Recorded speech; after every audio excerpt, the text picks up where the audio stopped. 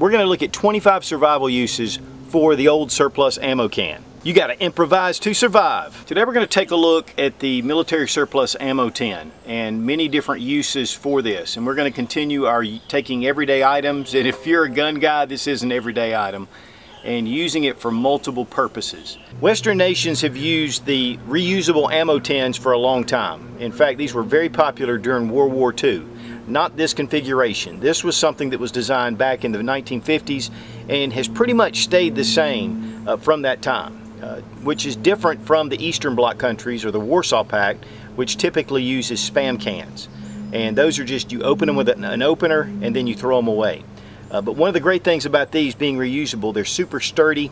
Uh, they can handle a lot of weight. They're stackable and they seal very well. In fact, there's a rubber gasket that runs through here, which makes these uh, just perfect for using for a lot of different storage possibilities. But there are other things that these can be used for as well. Now there are a lot of sizes and shapes of the metal ammo boxes uh, and these are all military surplus which I really prefer. Uh, this is one of the what they call the 30 caliber can. This is what many call the 50 caliber can and then this is just a little bit larger. I think this one actually holds 800 rounds of 5.56 tracer ammo. A lot of cans have some compartments inside and they're kind of very specialized but these are typically to me the best that are sturdy and strong and yet they're very portable. You get pretty much bigger than this and you fill it up especially with ammo and you're going to have a hard time transporting it. Now some of the features of the can is they do have a carry handle, it is metal, and it will pretty much handle anything you put in here. It has a little snap here that locks it down uh, and actually seals in the rubber gasket that's inside. Open it up, you've got plenty of room. The great thing is the lid actually comes down the lip and it covers over it so it helps with keeping water out. It has a real strong sturdy hinge. Uh, you can see the rubber gasket that goes all the way around and I'll tell you guys you need to be careful maybe putting a little silicone or a little oil on this to keep it from you know dry rotting. One of the great things about these tins though is you can actually take the lid off as you can see here and it's a really strong system but if you need to get that lid off and there's a couple of things that we'll show why you do and then you just place it back in close it down and then right here at the front again just snap solid. Now even though you can lock this down with a chain and hold it in place, uh, there are some aftermarket companies that have little places or fixtures that you can use padlocks on here to keep this secure and have a little bit of safety uh, as a small little safe. Another great feature, these are stackable. So you can store these really easily and stack them up to be able to get to them. You have this little handle here if you ever need to pull it out. So it makes it just, it's really well thought out and obviously it's been used by the U.S. military for uh, at least 70 years. You'll notice underneath there's a groove right here that fits right over the handle. Uh, one of the things about the 30 caliber is that it's more uh, linear and so it's thinner and it's a little more top heavy. With the 50 caliber cans you have a lot more stability. And then of course with the larger cans it's even better. Now the U.S. military surplus tins have been relatively cheap uh, because they've sold them at auction and you can find them a lot of times in Army Navy surplus stores or gun shows and things like that. But they do make a lot of the aftermarket commercial tents and that's what we have here. Um, it's pretty much the same thing. There's a few things about them to me that are not quite as nice but and one thing too is they can be kind of expensive or at least expensive compared to the surplus ammo tins. But there have been times where certain administrations have tried to limit the sale of these and actually just used them for scrap, uh, which was really a shame because these things are super useful. Now guys, make sure that you remember that if it is a military surplus tin, that it has had lead and propellants in there and it's not safe for food or for water for that matter, uh, unless you're going to use it for other purposes rather than drinking. Uh, and then if you do the commercial tins, you can use those for food. I would wash them very good. Definitely one of the advantages of going with a commercial tin. Now the thing that I use mainly for my ammo tins is this. is ammo. And um, even have some bandoliers in here and loose at the bottom. But this is a perfect way. These boxes are super sturdy. Again, they're stackable and they can handle this load. And plus, they're out of the elements. But not only loose ammo, but also in boxes. And here we have 45 ACP in a 30 caliber box, and it just stacks really nicely. And of course, after you're done at the range,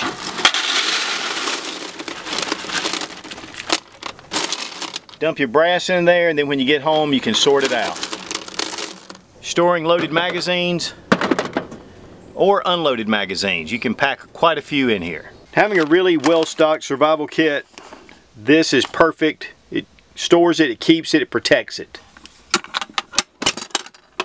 One thing you can use, and I would definitely recommend the 50 caliber can, is a step stool. So you can reach high things and get to them. The 30 caliber is a little bit wobbly, but no matter what, be careful. Main thing is, don't ever stack them and step on them. I'm saying that from experience. Keeping your fire tinder dry. This is some of the tinder torch from Ingalls Creek Outdoors. Great stuff. Uh, it's actually waterproof, but this will help to keep those fires going quicker. Also throw matches, lighters, and even a small fire kit.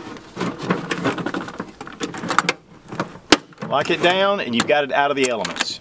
And keeping those matches dry can be really important for the finer things in life. And while it's not super comfortable, you can use it as a small stool to sit on. Now I did a video a while back using this tin for an emergency car kit. Uh, and so just keep all the essentials in case you have an, a driving emergency or whatever that is and just pack this in. It keeps it protected and it's good and square, it's compact, and these really make a good little thing. They can typically fit under a lot of seats or definitely in the trunk. One thing though is, and I've written it on here, leave in car. These can also be used to store handguns, especially if you have something like this with, with the foam, and then you have your magazines right here. Keeps it really organized. You can keep your pistol down in there, keep it well protected, uh, and you know, just fit this however you want to. You could actually fit some just like this, and you could stack probably three or four handguns like that. Keep them good and safe. These things are sturdy.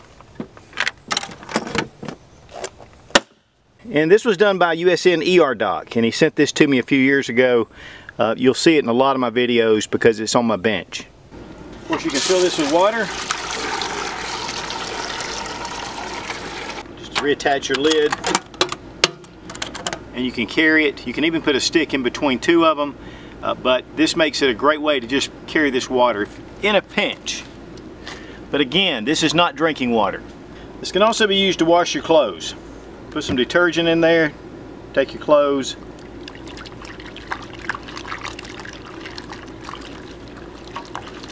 May not be perfect, but it definitely will help. It'll keep the smell down.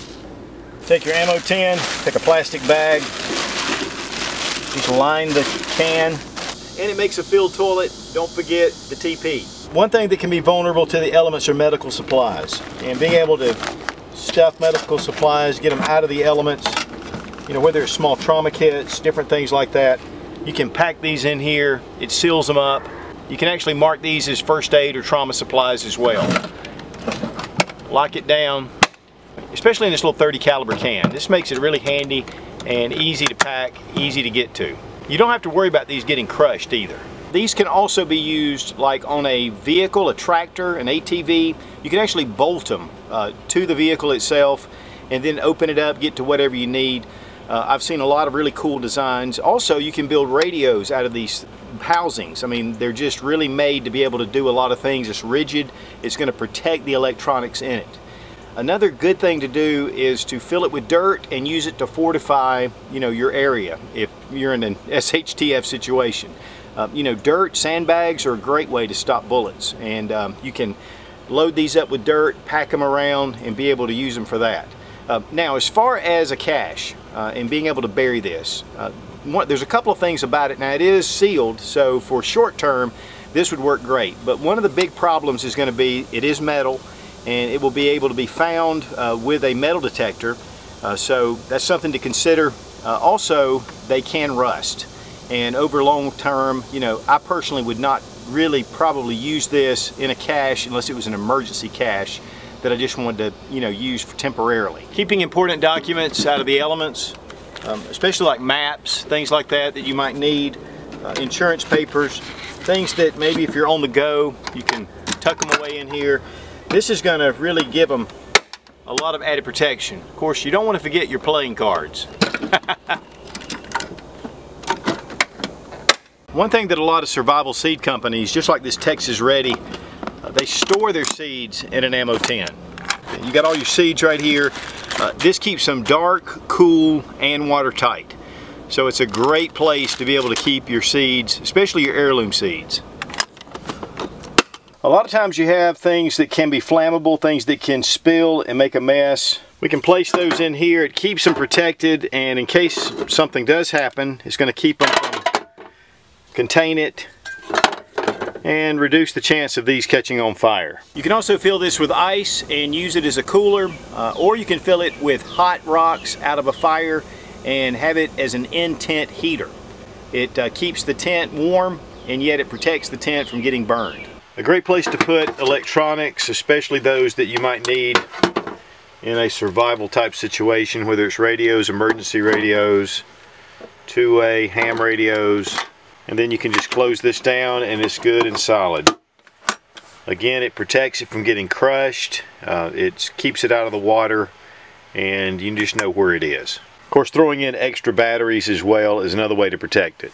Now, down in the description below, if you have some ideas where tins could be used in a survival situation, please leave it down in the comments.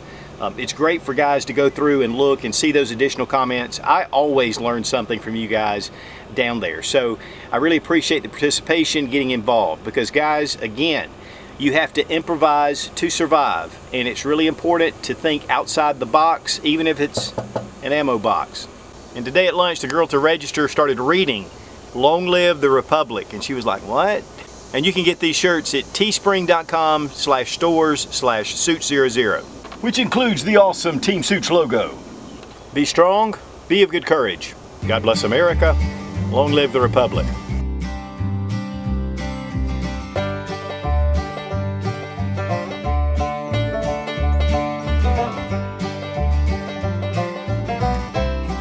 And today at lunch, the girl who was checking me out,